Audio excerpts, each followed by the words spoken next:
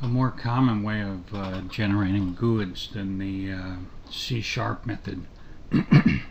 I showed in the previous COM video is a utility called GUID, GUID, GUID Gen.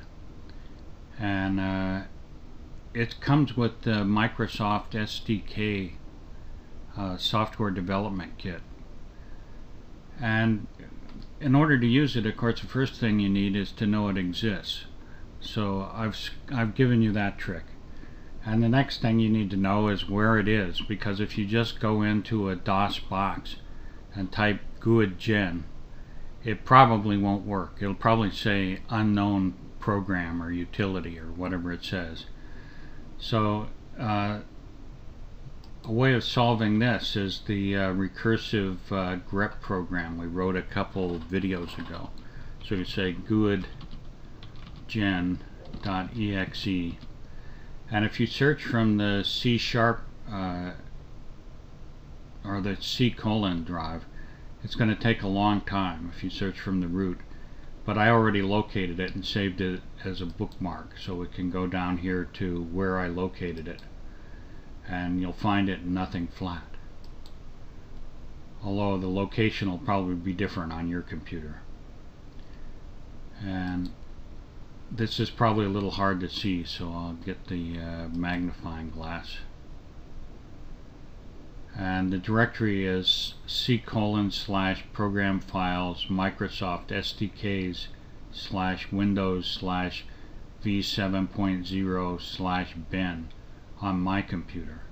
It'll probably be something different on your computer. And with the grep program you can highlight that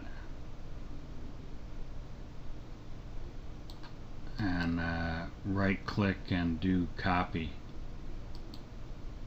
And probably get rid of this guy.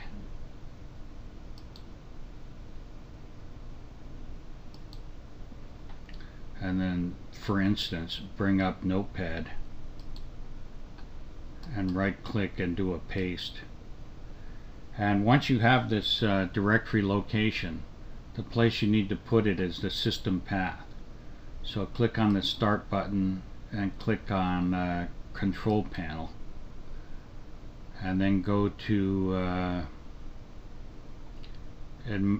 or no system. And then advanced system settings and environment variables. And then down to path. And you want to click on edit for the path and if I uh, right click and copy this path go back to our notepad put a couple spaces. You can see it's a huge uh, string. And it gets huger all the time because every time something installs itself it quite often adds to this path like there's Google Chrome. And I've already added this to uh, the string. It's right here.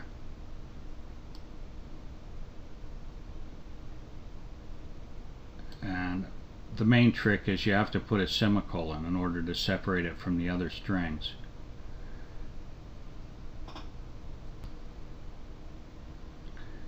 And if we were doing this for real, we'd once we'd put this into the string with the edit, we'd click OK and then OK multiple times to get out and then it'd be saved. But it's already in there so we'll just hit cancel. And X our way out. And then to bring it up we just go into a DOS box.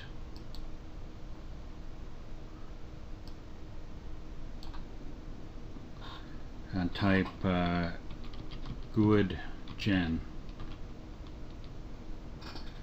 And once again, we'll get a selection of types of, uh, of ways of generating it. These actually generate statements that you can directly put into programs. But for our case, we'll just put the registry format, which is the braces and it's separated by the brackets. And the simplest thing is to click copy. And then you can bring up uh, whatever program you want to put it into.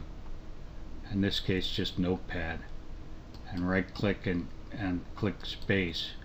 And there's a totally unique 128-bit GUID number that will be used to identify interfaces or used to identify code classes for the uh, ActiveX uh, utility we're developing. Well, I hope you uh, enjoyed this video and uh, learned a lot and I'd appreciate it if you'd subscribe.